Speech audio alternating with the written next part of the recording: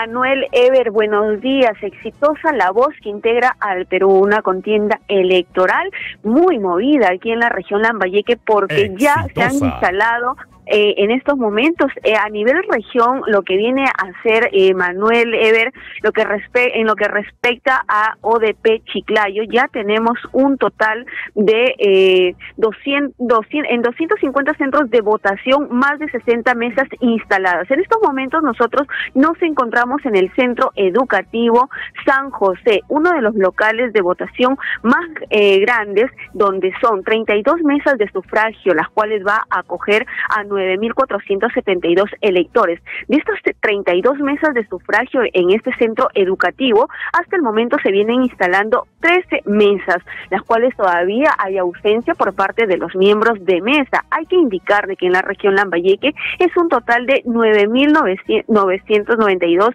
96.000 ciudadanos y ciudadanas que van a acudir a sufragar para elegir las próximas autoridades tanto regional, provincial y distritales, de las cuales 508.796 son mujeres, que representa el 51.28%, mientras 483.300 son varones y representa el 48.71% para esta contienda electoral. Se han habilitado 479 locales de votación donde se van a instalar 3.363 mesas de votación. Ahí es, importante mencionar también lo siguiente. A nivel nacional sabemos de que se viene dando o se ha implementado ya todos los protocolos para personas con discapacidad y del total de electores que tenemos en Lambayeque, 12.147 son ciudadanos con discapacidad y en todos los, los locales de votación también se ha distribuido las cartillas braille para todas estas personas. En estos momentos ya eh, los sufragantes están ingresando a este local de votación,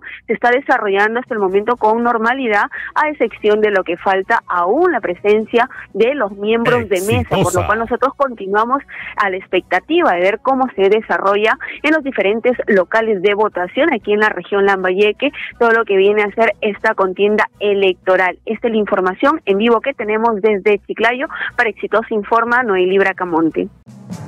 Candidatos, propuestas y transparencia para construir el Perú que queremos.